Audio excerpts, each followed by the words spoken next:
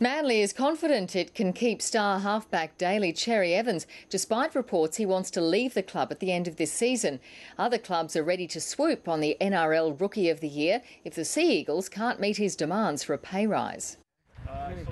Manly coach Geoff Toovey fed many scrums during his career with the Sea Eagles, but had his work cut out satisfying a media pack that wanted to know whether Daly Cherry Evans had asked for a release from the final year of his contract. Until he tells me that, I, I'm, I don't, you know, I can't comment on it. We're obviously trying to get something sorted out as soon as possible, and you know, at the moment, it's probably just, you know, not what we're looking for.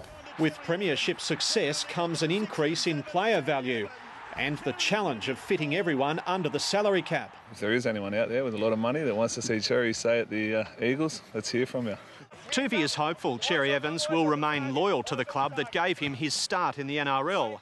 The coach was annoyed by suggestions the young halfback should leave if he's offered up big money by other clubs. Money talks though, doesn't it, Geoff? Oh, not always, no.